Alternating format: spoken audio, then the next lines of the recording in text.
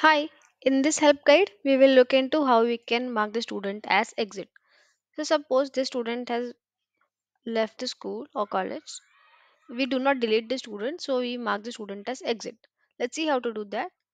Go to school and go to students and search for the student you wish to exit. Then, this is the student I want to exit. Click on this action column, the four squares.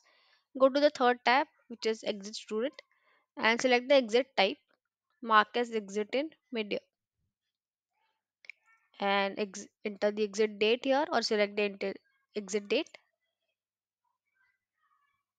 Suppose a student has left the school from 1st of the December and now save changes. You will find the same student here if you select the status as exit between here and click on search. You will find the student